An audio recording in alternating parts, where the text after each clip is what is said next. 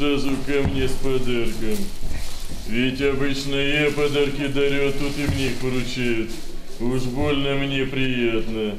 Юный нижегородец Лев Шитов отправился в гости к главному волшебнику страны вместе со всей семьей – мамой, папой и сестрой Олесей. Как и другие ребята, Лев принял участие в акции «Елка желаний». В новогодние праздники членам правительства предстояло стать волшебниками для юных нижегородцев, чьи желания оказались на елке. Шарик с желанием Льва Шитова побывать в Великом Устюге снял с елки заместитель губернатора Нижегородской области Андрей Бетин. Как будто это моя мечта.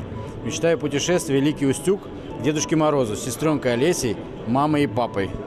Я вот никогда не был в Великом Устюге и буду рад э, помочь этой семье оказаться там. Все-таки это э, волшебство, праздник, Новый год и Родина Дед Мороза. Это что-то ёкает из детства по-настоящему. Всероссийская акция «Елка желаний» получила продолжение благодаря губернатору Нижегородской области. Глеб Никитин попросил организаторов акции все шарики с желаниями нижегородских детей передать для исполнения представителям правительства и законодательного собрания региона. В рамках э, оперативного совещания предложил э, всем членам правительства, депутатам законодательного собрания тоже поучаствовать в этой акции. И сам, кстати, в ней принял участие э, опять Потому что, еще раз говорю, это большое удовольствие. Напомним, 26 декабря 2019 года губернатор Нижегородской области Глеб Никитин принял участие во всероссийской акции и снял с елки три карточки с желаниями.